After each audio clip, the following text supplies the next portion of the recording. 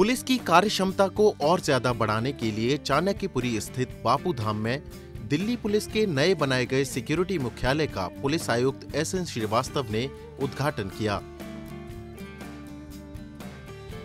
इस नई इमारत में तमाम सुविधाएँ मुहैया कराई गई हैं जिससे पुलिस की कार्यक्षमता बढ़ेगी।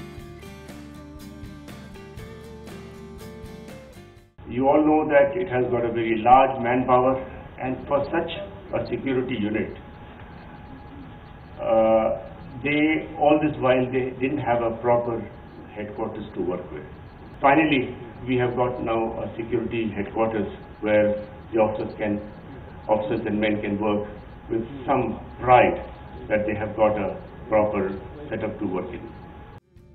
Police की इस पहल से दिल्ली की सुरक्षा को और भी मजबूती मिलेगी